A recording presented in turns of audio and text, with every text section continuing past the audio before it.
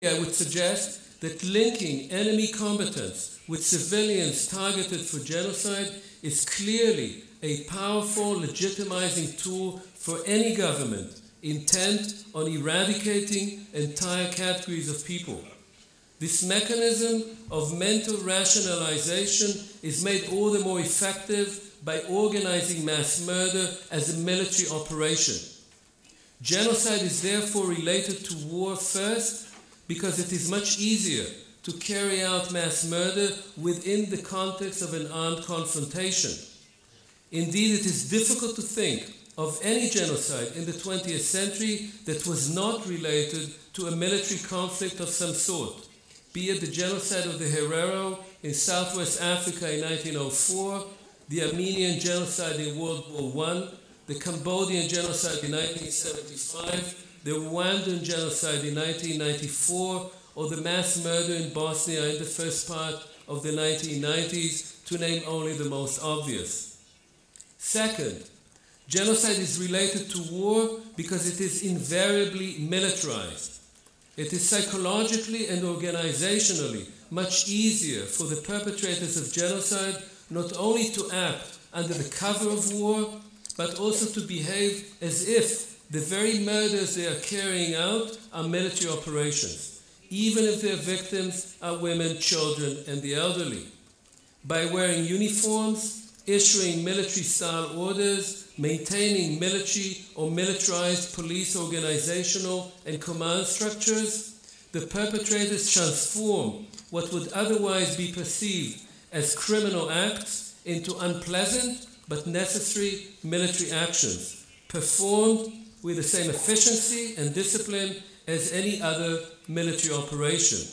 This is, in fact, an inherent characteristic, one might even say a necessary condition of modern genocide as such, incidents of uncontrolled wild violence notwithstanding. In the case of the Holocaust, however, genocide included also militarized forms of incarceration, forced labor, and extermination policies while these once more had all the external attributes of army or prisoner of war camps, such as barbed wire, watchtowers, inmate uniforms, barracks, and so forth, especially the extermination camps, were unprecedented in the annals of genocide and have remained a unique feature of the final solution. One should also consider the inverse aspect of the relationship between genocide and war. To be sure, while most modern genocides have occurred in the context or under cover of war, not all wars in the 20th century were genocidal. But genocide tends to affect the nature of war as a whole, making for a wide array of other war crimes and crimes against humanity. If criminal war legitimizes genocide, genocide in wartime pollutes all combatants. The first months of the German invasion of the Soviet Union provide a telling example. Thus, by the end of 1941, up to 800,000 Jews, men, women, and children were murdered, up to 4,200 per day. At the same time, in the fall of 1941, 6,000 Red Army prisoners of war were dying in German camps every day.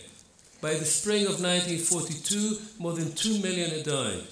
A conservative estimate of total Soviet military and civilian losses in the war comes up to 20 million people. The militarization of genocide and the barbarization of warfare are thus intimately linked. This has been demonstrated in many of the other cases mentioned earlier. Thus, German troops in southwest Africa and Turkish soldiers in Anatolia insisted that they were fighting an insurgency, a rebellion, or collaboration with a foreign enemy. The soldiers engaged in mass murder, the very fact that they are killing civilians can indicate their victims' complicity in guerrilla warfare or terrorism. Precisely because they do not wear uniforms, they are suspected of acting behind the army's back or perfidiously working for the enemy.